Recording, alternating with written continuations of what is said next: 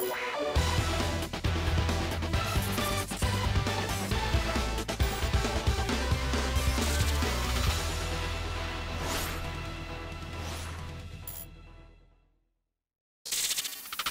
everyone, how are you doing? This is MD Tech here with another quick tutorial. In today's video, I'm going to show you guys how to resolve the blue screen error you're getting with the bad pool header on your Windows computer. So this should hopefully be a fairly quick tutorial and we're going to jump right into it. And we're going to start by opening up the start menu. And you want to type in system restore. One of the best matches should say create a restore point. If you're running Windows 7 or Windows 8, this might look a little bit different, but you still want to open it up by left clicking on it. Where it says configure restore settings, manage disk space, and delete system restore points, you can configure restore points in here, but I recommend that you click on the system restore button right here where it says you can undo system changes by reverting your computer to a previous restore point.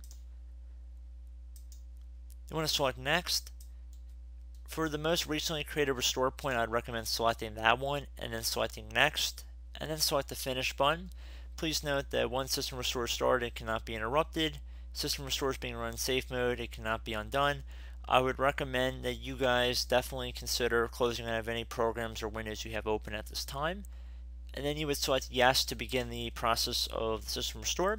Now, if you do not have any restore points on your computer, I would highly recommend that you download the Windows 10 Media Creation utility through Microsoft and boot your computer off of that. There's quite a few different startup repair utilities built into that tool, and I'd recommend you take a look at that if you're unable to get into Windows, or more likely if you're unable to have a restore point.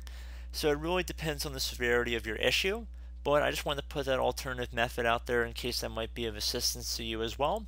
But I do hope this brief video was able to help you guys out. And as always, thank you for watching, and I look forward to catching you all in the next tutorial. Goodbye.